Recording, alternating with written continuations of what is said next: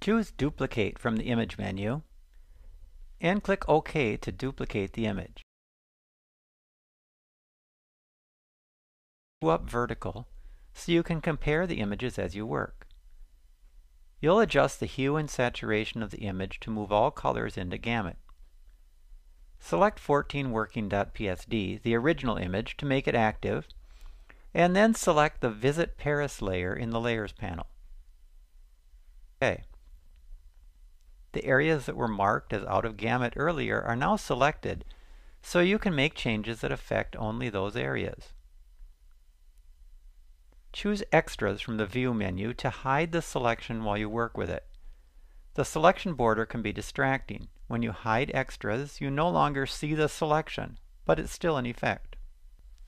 Click the Hue Saturation button in the Adjustments panel to create a hue saturation adjustment layer. Choose Adjustments from the Window menu if the panel isn't open. The Hue Saturation Adjustment layer includes a layer mask created from your selection. In the Properties panel, do the following. Leave the hue setting at the default value. Drag the saturation slider to reduce the value. I'll use minus 14. Reducing saturation is one way to bring colors into a target gamut. Drag the lightness to the left to darken the image. I'll use minus 2. Choose Gamut Warning from the View menu.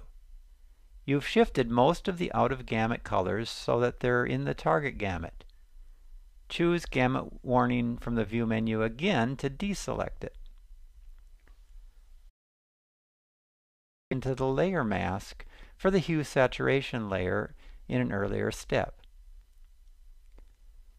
Close the duplicate image file, the 14 Working Copy tab, without saving it.